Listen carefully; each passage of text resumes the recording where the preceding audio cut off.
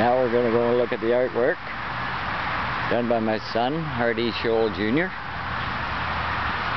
I'm trying not to shake this camera, so bear with me. That's what happens with age. You get old and you can't uh,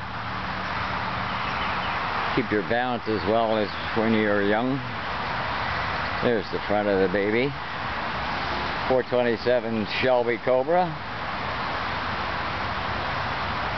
There's a bare wall. We got a plan for a GT350 Mustang there. Also made by Carroll Shelby. Sorry about the shake.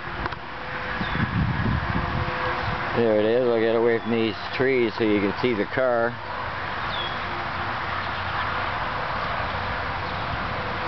Just wanted you to have a quick look to see uh, exactly where it was put. Thank you very much for watching and please vote for Hardy for Garage Art. Thank you.